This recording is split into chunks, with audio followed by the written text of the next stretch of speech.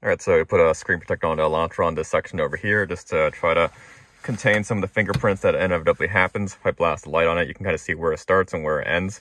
I can't really tell in the dark, obviously. So I'm pretty happy with the install. So what I ended up doing actually is taking this thing over here, which is a really cheap 9H uh, screen protector off Amazon. It's like 10, 15 bucks. You notice I still have it, but the screen protector's on there. So what is this for? I actually took this, which is, this is like a normal like 9H sort of screen protector, generic stuff you see that advertised for phones. Took this, used this as a template, and cut out um, this is a Skinomi TechSkin for a MacBook Pro 15 inch actually. Use that as a template, cut this, cut it out of this. You can see kind of the, um, uh, what resulted out of that template over here. It's the backing film for it, which is pretty much an, a near, pretty much an exact fit. And use that to attach the um, Skinomi TechSkin cover um, protector onto this thing. The reason why I did that is I kind of I like the Skinomi stuff. I've been using them for a few years now. Um, if you never looked them up on Amazon, I mean, they're interesting if you want to give them a go. So it's not glass. Um, it's more of a kind of film that goes over it. What I like about it is like I feel like a lot of the the glass, tempered glass sort of covers over here, um, they have a a fingerprint resistant coating, but it's a coating that wears off. It's not the glass that's imbuing the fingerprint resistance, it's the coating. And that stuff, like, I feel like wears down a little bit. If you crack this also, getting it off to pain in the butt. Whereas the Skinomi stuff I really like because this is kind of a film. It is self-healing. So if you dent it and you leave it there for maybe like a day or two, or you let it heat up, it will undo itself. It's kind of like paint protection film, actually, um, which is awesome. And they, they do a really good I feel like they have a thicker, or maybe it's just a characteristic of the film.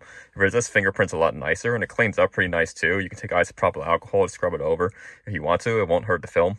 So um, I dig that. Kind of a quick um, sort of uh, add-on over here that I just did. Um, one thing I was a little bit concerned about is uh, these have to go on wet, so they give you a little spray bottle over here that you use to go on wet both sides so you don't, it doesn't stick to you.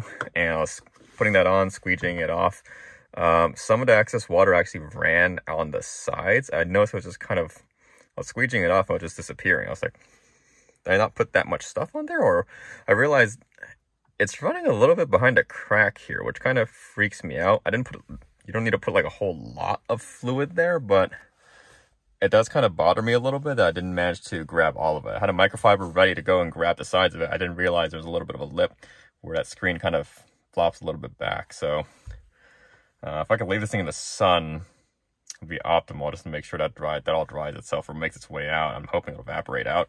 Um, that kind of freaked me out a little bit. I got a decent uh, amount of the fluid off, but like on the bottom, or I'm not quite sure like how much ran off and maybe seeped behind a little bit. So that freaks me out a little bit. If you're gonna do that, put a rag to the side and make sure you're capturing it as it's exit as you're squeegeeing it off. Don't let it just run. Um, I don't think it's going to be that big of an issue, but something that just kind of bothered me a bit. But anyhow, um, this should be good. So makes it a little more obvious, I feel like, with the, actually, well, with the overhead light on. Normally you're driving, like, it's not really obvious that it's there, um, and it works just fine. Obviously, it'll resist some of those uh, fingerprints on there. So, yeah, pretty happy with that.